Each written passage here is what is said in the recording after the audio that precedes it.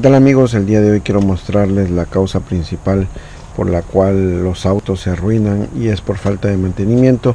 Aquí pueden notar tengo esta van que es una Nissan Quest 2014 y no la han cuidado si pueden notar aquí lo que es el líquido de frenos miren no está a su medida correcta luego si checamos la reserva del anticongelante refrigerante no tiene nada miren está vacía. O sea descuidan mucho el motor y no le checan todo lo que necesita y por eso se arruina. Ahora vamos a revisar el power steering miren.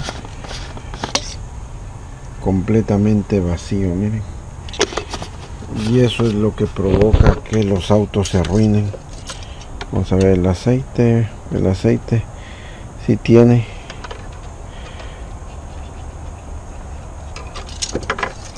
pero es indispensable revisar el motor de un auto porque el no hacerlo como aquí miren le hace falta líquido aquí también todo eso va haciendo que de a poco el motor se vaya arruinando y entonces algunas veces cuando las personas no revisan el motor le echan la culpa a la marca del auto y a veces no ese es el problema sino tiene que ver con el mantenimiento que se le dé al auto.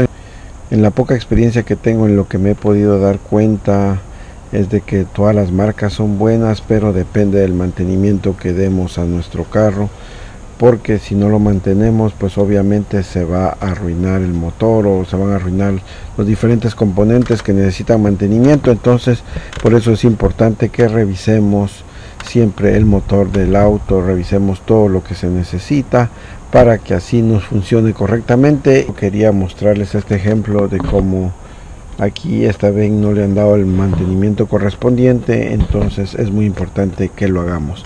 Ok amigos eso ha sido todo. Espero que el video les sea de utilidad. Como siempre les invito a que comenten a que compartan a que se suscriban y nos vemos hasta la próxima